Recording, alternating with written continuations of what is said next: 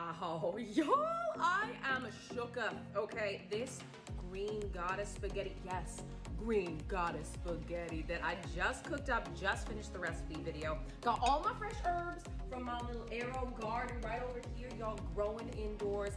And it is so dang good, creamy and zesty and herby and mm. I mean, come on, get in it. Just, just get in it. Dig on it.